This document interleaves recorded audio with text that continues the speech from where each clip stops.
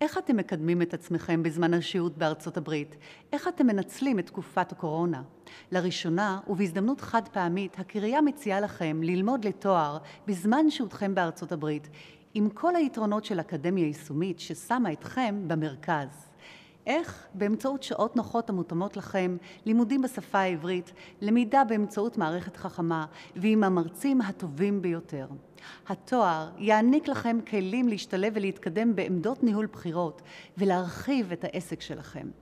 במהלך התואר תיחשפו למודלים ודרכי חשיבה אסטרטגיים, שיווקיים, עסקיים וניהוליים ותקבלו ארגז כלים יישומי שבאמצעותו תוכלו לייצר קפיצת מדרגה אישית, ניהולית ומקצועית.